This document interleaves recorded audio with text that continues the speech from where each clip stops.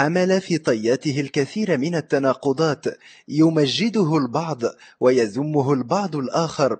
ولكن الشيء الوحيد الذي يتفق عليه الجميع هو أن خليفة بي بن عسكر كان أحد صانع الأحداث التاريخية التي مر بها جبل نافوسة ما بين سنتي 1913 و 1922 أزل هذا حسن بوفوس معكم من قسم تولت الإعلامي.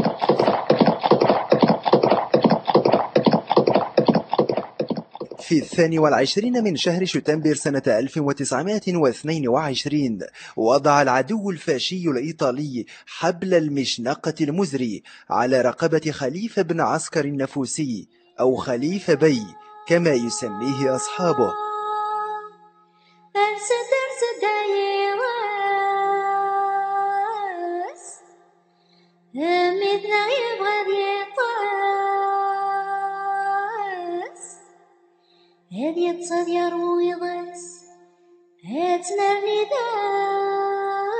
داز في ذكرى إعدامه سوف نتحدث عن سيرته كعالم من أعلام نفوسة حامت حوله الكثير من الأخبار المتناقضة.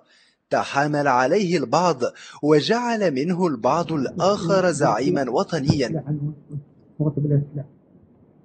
كنا في ما يعمل أنا في برا بيت يحبس مكانه أحد معمري جبل نفوسة يتحدث عن ظروف اعتقال خليفة بي بن عسكر. ولا يسد قرشاني في الكرهب في الكرهبة. ولين ينغسروا يتغسروا على الجلود غسروا لنا غسروا ما ينوم ليش عن حكم توفيق قيمون ليش باين العسكر مش من اللدود. تكملتين غسلوا وأنا زي الكره أستاذ سكرني غسلوا اللحى كل كرني مستجع سكروا سقط نتشل من أنا اكمتي برجال في قتال. وخوقات شيء إلا سلاح ما يكون لك اخواتك مجموعة تبيني سلاح من سلاح سلمت الحكومة. المناصر اخوات بهنيتي الفوضى عادي يسد أكواره. من عسكر الحكومة تطلب تغسل. على كل حال تكون موسى كالضرب موسى أتقدم تكون جاهزة لازمنهم تقول صافس يقولوا هذا الرأس طلبت الحكومة على كيف درس الحكومة؟ ثم أنت نعت دول إخوان سوف لكن لا تكون حكونا سعادة الكرامة أنا توليد نوليد نتشن عدل نوليد خربيد نوليد نتشن توليد الحكومة تقول تروح أنت نروح لله شرع الكولونيل غريتسياني والكابيتان كورو منذ أوائل مايو 1922 في ضبط خطة للإيقاع بخليفة بن عسكر. ويقر غريتسياني في مذكرته أنه لم يكن من السهل خداع رجل حذق في فن الخبث والمكر مثل هذا الرجل. ويبدو أن ظروف اعتقاله من الممكن أن يلام فيها محمد فكيني الذي لم يوف بوعده لابن عسكر بمهاجمة الحامية الإيطالية في الوطية مع جنوده المتألفين من القبائل العربية الرحل وأهالي الريين والزنتان حينما أفسح له ابن عسكر المكان واتجه إلى منطقة قريبة من العسة وكان هذا ما بين الليلتين العاشر والحادي عشر من مايو 1922 كما ورد في مذكرات التهم التي وجهتها له المحكمة الإيطالية نفسها. بالرغم من الأحداث آه، اللي تدور حولها قصة مقاومة خليفة بن عسكر تتقاطع مع أخبار الكثيرين من الزعماء الوطنيين إلا أن الذي ترك لنا من معلومات عن هذا العالم النفسي قليلة جدا بالمقارنة بالكثير من أقرانه. وللأسف أكثر المعلومات المكتوبة عنه هي من شهادات أعدائه عنه لا من مصادر كتابية ممن رافقوه أو عاصروه إلى بعض الروايات الشفهية طبعا. وللأسف الشديد ما كتب عنه لا يتعدى أن يكون كتابين الأول لسيء الصيت القشاط والثاني لمحمد ليسير وهو تونسي كتب عن خليفة بن عسكر ولكن من باب مقاومته للفرنسيين على الحدود التونسية الليبية. ولد خليفة بن سعيد بن علي بن عسكر حوالي عام 1878 في بلدة لالوت الواقعة في الشق الغربي من أدرار نفوسة ليس لدينا الكثير من الأخبار عن أيام نشأته الأولى والظروف المحيطة بها غير ارتداده على الكتاب أيام صباه لحفظ شيء من القرآن كما هي عادة أكثر الليبيين. فقد كان يحسن الكتابة ولكن تعبيره باللغة العربية كان يشوبها ركاكة ناتجة من تعلمه اللغة العربية عن كبر سن. إلا أنه اتسم بصفات نعلم عنها الشيء اليسير منها الشجاعة والإقدام إلى جانب أنه غالبا ما يوصف بحاد الطباع. عصبي المزاج شديد القسوة على كل من يناصبه العداء وهو فوق كل ذلك محارب مقدام. ويوصف بأنه صبور عند اشتداد المكاره ومحرض خطير قادر على إتيان أكثر الأعمال الجنونية. نشأ ابن عسكر في عائلة ميسورة الحال بل ربما صح أن نقول ثرية بمعايير ذاك الزمان. وهذا ما يفسر الأخبار الشفهية التي تتردد عن إسرافه في التبذير والإنفاق على رفاقه في الصبا. وهذا ما يفسر كذلك مقاسمة إخوانه إياه أملاك العائلة من أرض وأشجار مبكرا خشية أن يتلف كل الممتلكات بسبب تبذيره المفرط على أقرانه. آه، مما يروى عن خليفة بن عسكر شغفه بالصيد خاصة صيد الودان أو داد آه، الذي كان يتوفر بكثرة في مناطق الجبل وعرف عنه كذلك الفروسية ركوب الخيل ومن أهم السمات التي اتسم بها أهالي نالوت في ذاك العصر وخليفة بن عسكر لم يكن استثناء في ذلك ربما كان يضاهي أقرانه في ذلك ولكنه لم يكن استثناء في كون كونه آه، يحب الفروسية بل إن السباقات اللي كانت منظمة آنذاك في كل مناطق آه، في الفروسية وفي ركوب الخيل آه، وإلى آخره من الهوايات الرياضية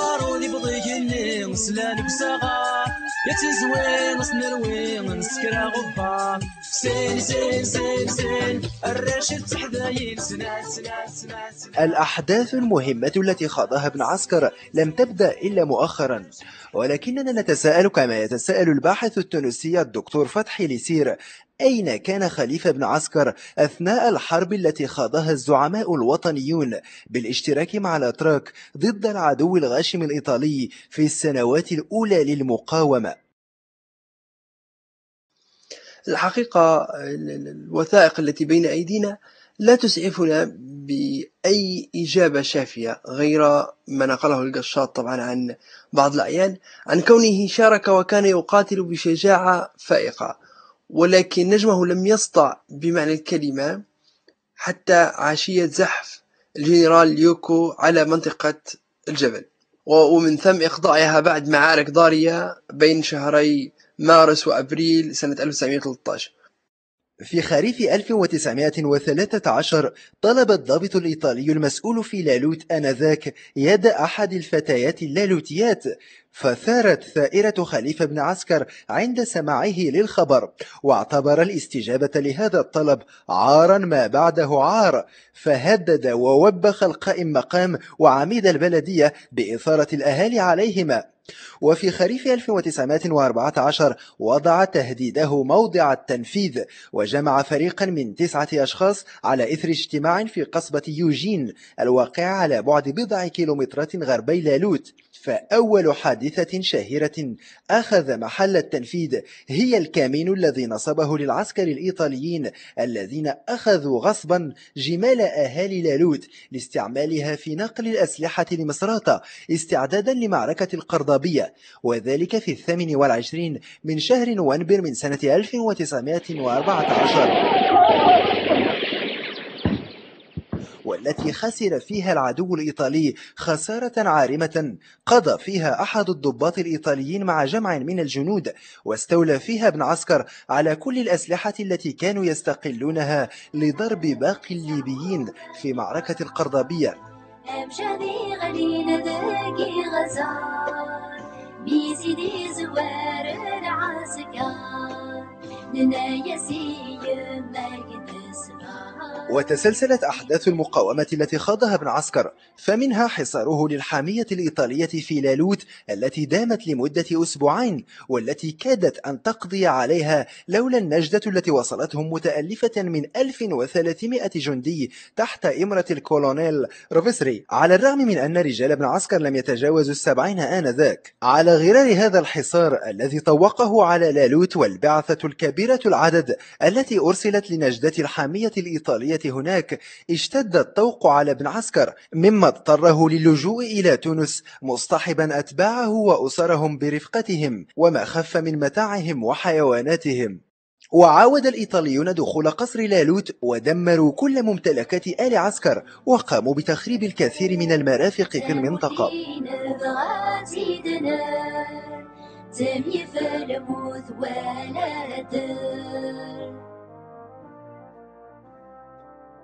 يبدو أن الفرنسيين وطنوهم في نواحي نفزاوة في الجنوب التونسي وسمحوا لهم بالبقاء مع محدودية النشاط والحركة. ويبدو أن ابن عسكر ضاق ذرعا بظروف الإقامة الجبرية وشروطها القاسية فلاذ بالفرار مع عمر بن علي الختالي. ويبدو كذلك أن ابن عسكر تمكن من الفرار بالرغم من صلابة الحراسة والطوق الذي كان مكونا حوله. فقام الفرنسيون فور سماعهم بفرار خليفة ابن عسكر. بسجن كامل أفراد عائلته.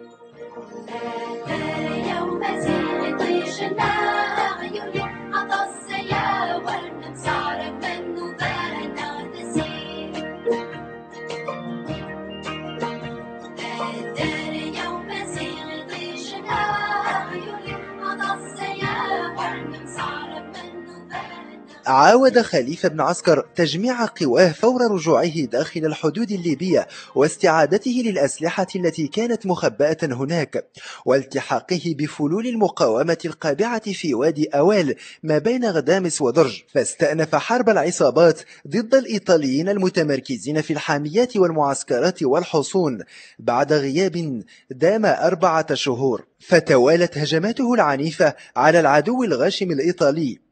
منها عملية سواني يعقوب التي غنم فيها 115 رأسا من الإبل و150 رأسا من الأغنام. وعملية حصار سيناون ما بين الخامس والحادي عشر من يونيو سنة 1915 وبعدها مباشرة حاصر كاباو وأدخن القتل في الحامية الإيطالية هناك حيث هلك فيها ضابطين وما يقارب 37 جنديا. وهاجم الجيوش والقطفة. وأكبر هجوم خاضه كان على بلدته ومسقط رأسه لالوت.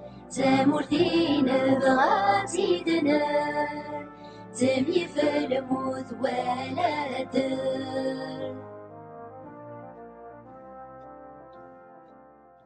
يبدو أن الجنرال كزيني كان يتوقع منذ الثلاثين من شهر يونيو بأن يهاجم ابن عسكر ورفاقه قلعة لالوت ليعيدها من أيدي المغتصب الإيطالي.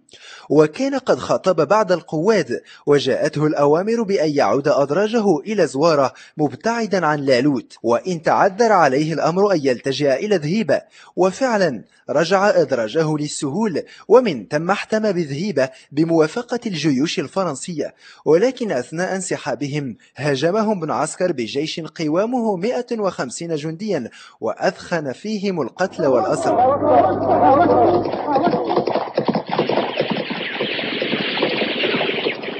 وبعد الانسحاب والهزيمة المروعة في صفوف الإيطاليين طلبت القيادة الإيطالية من جيشها الانسحاب من غدامس خشية أن تلاقي نفس المصير. وفعلا دخل ابن عسكر قصر لالوت مظفرا بالنصر في نهاية شهر يونيو وأعلن نفسه قائم مقام لالوت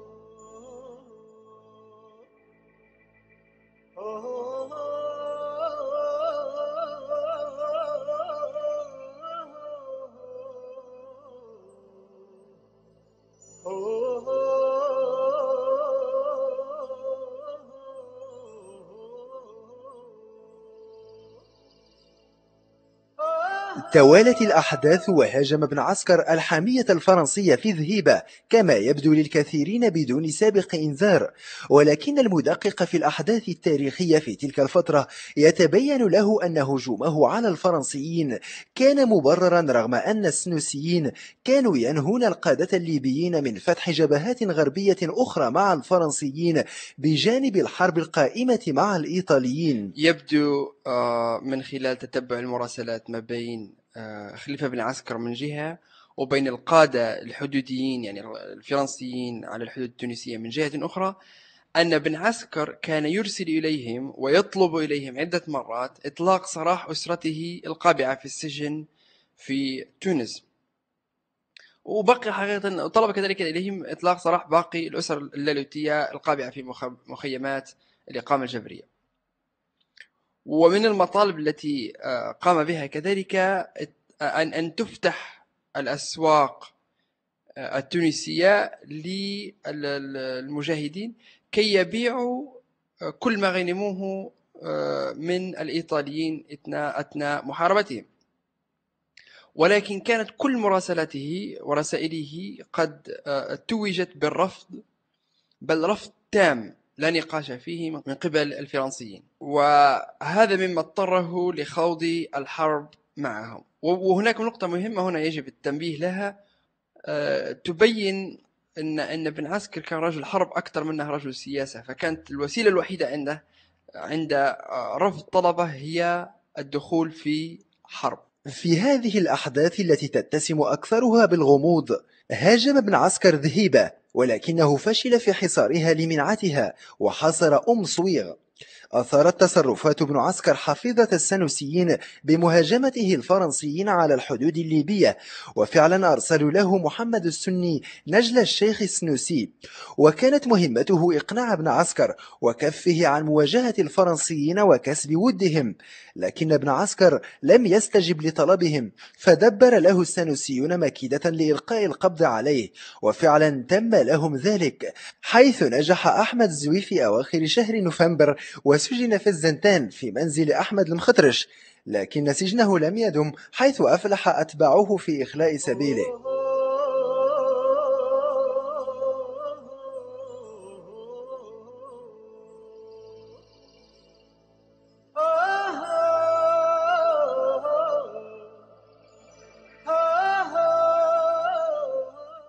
أعاد ابن عسكر الكرة مرة أخرى وهاجم الفرنسيين بعد أن استقر له الأمر في لالوت.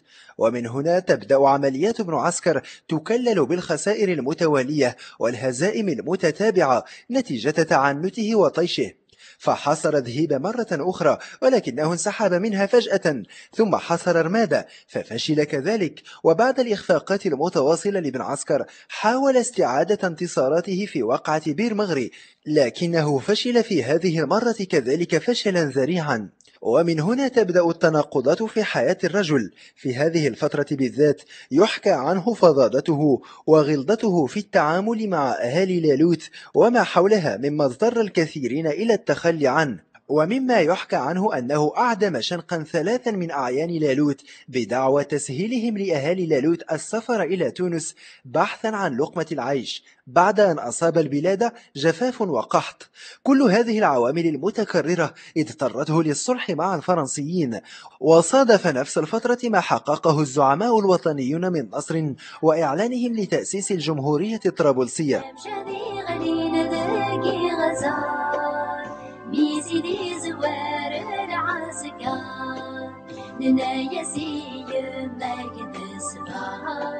دعا الإيطاليون الزعماء الوطنيين لزيارة طرابلس فكان ابن عسكر أول المستجيبين لهذه الدعوة بحيث دخلها إلى جانب رمضان سويحلي. ومن هنا بدأ ابن عسكر حلفه مع الإيطاليين لكنه حلف كما يشهد له الإيطاليون أنفسهم. اتسم بالكثير من القلاقل مما اضطر الإيطاليين إلى عزله من قائم مقامية لالوت. وكان هذا الحدث بالذات شرارة لكل القلاقل التي تبعته من خلافات بين الزعماء الوطنيين من عرب وأمازيغ. والذي سوف نعود له بشريط وثائقي عن الحرب الأهلية في الجبل. يبدو أن دخول خليفة بن عسكر في التحالف العربي ضد إخوانه في العرق والدين سبب كبير في تحامل الكثيرين عليه. الحقيقة أمر أمر آه، يدعو إلى الاستغراب كثيرا هنا. إما هناك خلط ممن نقل لنا الأخبار أو آه، فعلا الأحداث حدث بهذا بهذا الشكل وأن بن عسكر نفسه كرجل متذبذب جدا. فكما قلت الغريب أن أهم الأسباب اللي رجحها بن عسكر في سبب تحالفه إلى الجانب آه، متحدثي العربية ضد أهالي فصاتو هو تعامل أهالي فصاتو مع الإيطاليين. وهذا حقيقة كلام حق أريد به باطل حيث وللتاريخ لم يكن هناك زعيم وطني في المنطقة الغربية بعد الصلح ممن لم يستفد ماديا من المستعمر الإيطالي. بل إنهم كلهم بدون استثناء ومن ضمنهم ابن عسكر تلقوا رواتب من الإيطاليين. ومما تجد الإشارة إليه هنا أن ابن عسكر كان متذبذب الحال حيث نراه يهب لنجدة الباروني في يفرن بالرغم من أنه في صف المع... في الصف المعادي للباروني ف... ف على أي حال هذه الأحداث تحتاج إلى قراءة متأنية ودقيقة ويجب أن تؤخذ آه، مأخذ الجد والحيادية التامة. وضع ابن عسكر المتذبذب وشخصيته التي أصبحت غير مرغوب فيها من قبل الطرفين المتحاربين جعلت الجميع يتخلى عنه. وأكبر تخل كان بخيانة قسم من قبيلة رحيبات له حين زحفت العصابات العربية على فصاتو بقيادة التركي بن تمسكت وأصبحت الهزائم تتوالى من طرفه ووضعه يهزل حتى في عيون العدو الإيطالي الذي عقد معه تحالفات. فحاول يائسا إعادة الأمور إلى مجاريها ومحاولة استمالة العصابات المهاجمة بالمتحدث العربية في الجبل. أدت إلى الفشل. وهكذا أصبح ابن عسكر لقمة سائغة في يد الإيطاليين حيث حاكوا له المكائد وألقوا القبض عليه بخطة خسيسة.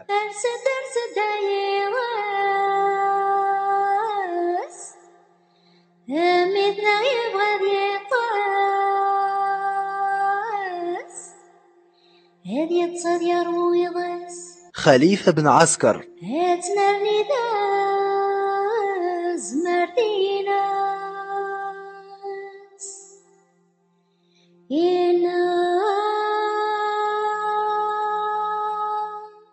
إعداد محمد أمادي قراءة النص حسن بوفوز إنتاج مؤسسة توالت الثقافية بالتعاون مع شركة فوزي فيزيون.